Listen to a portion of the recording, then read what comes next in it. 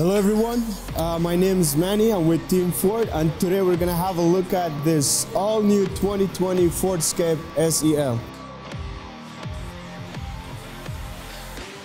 The brand new 2020 Escape SEL has been fully redesigned inside and out. Under the hood, you'll find a 1.5 liter EcoBoost engine paired with a 8-speed automatic transmission, 181 horsepower and 190 pound-feet of torque.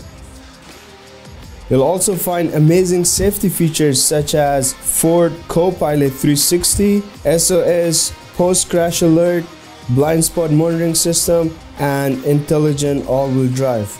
Stepping inside to check out the interior, You'll find more incredible features such as heated leather wrapped steering wheel, memory driver seat, and voice activated navigation.